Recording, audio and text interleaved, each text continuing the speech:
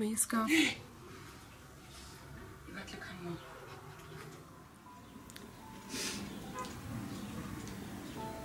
أنا جباني